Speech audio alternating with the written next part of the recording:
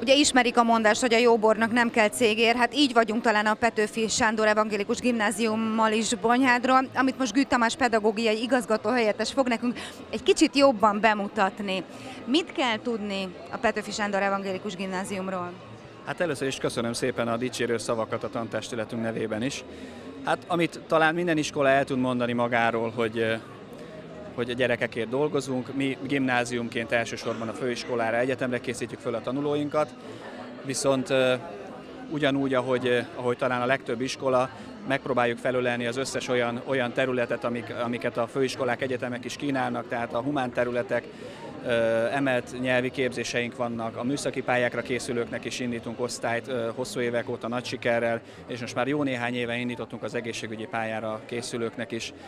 osztályt, valamint kiemelten fontos az, hogy azon kevés iskolák közé tartozunk az országban, ahol az Arany János Tehetséggonozó Program is most már alapítóiskolaként vagyunk egyébként jelen, most már immáron lassan 20 éve működik. Folyamatosan fejlődő programról beszélünk, jövőre minden esély arra utal, hogy még ösztöndíjat is tudunk az ide jelentkező tanulóknak adni. Talán az iskolánk egyik, egyik legnagyobb erőssége, vagy kollégáimnak az egyik legnagyobb erőssége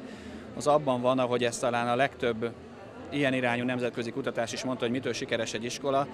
Nem feltétlenül csak a, a, a sőt elsősorban nem a tárgyi környezet, ami szerencsére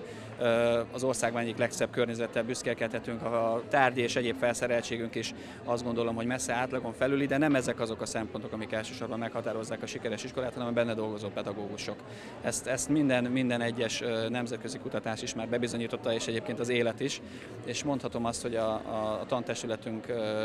szinte kivétel nélkül olyan, olyan kollégákból áll össze, akik a diákokért, a gyerekekért dolgoznak, és a tehetséges tanulókon kívül természetesen a leszakadókkal, a gyengében teljesítőkkel is hatékonyan tudunk foglalkozni. Ez bizonyítja például a tavalyi kompetencia mérések eredménye, ahol kiderült, hogy az országban a 21-ek vagyunk azokon, azokban az iskoláknak a rangsorában, ahol a 8. és a 10. év közötti kompetencia mérések közti eredmények mind az öt évben megharadták az országos átlagot. A régióban, a dél régióban három ilyen iskola volt, a matematikából is és, és, és szövegértésből is ezt az eredményt tudták elérni. Tehát úgy gondolom, hogy az iskolánknak a nagy erősége a pedagógusokban van ezt bizonyítja az a tény is többek között, hogy Szexádról külön járatú busz eh, indul, több mint száz diák e, utazik minden nap közvetlenül a Bonyhádi Gimnáziumba külön járatú busszal eh, és nagyon sok beiskolázás környezetünkben nagyon sok nagyvárosi, de kis települési iskolából is járnak természetesen diákok, amire szintén nagyon büszkék vagyunk.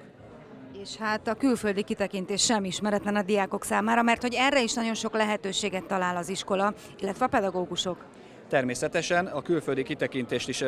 rendkívül fontosnak tartjuk, természetesen elsősorban a nyelvoktatással próbáljuk ezt megalapozni, angol és német nyelvet magas szinten próbálják a kollégáink a tanulókkal elsajátítatni. Nyelvvizsgahely is vagyunk egyébként a, a DSD helyi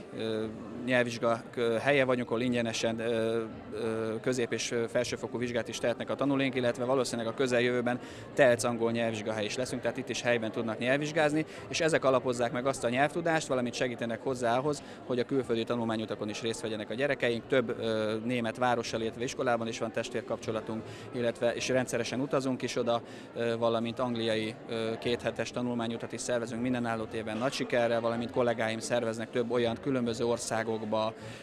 gyakorlatilag szinte a világ minden pontjára olyan tanulmányutakat, ahol a gyerekek csak gazdagodhatnak nyelvismeretben is, és egyéb általános műveltségben is, és egy szép kis kalandnak néznek elébe azok a tanulók, akik ezekre vállalkoznak.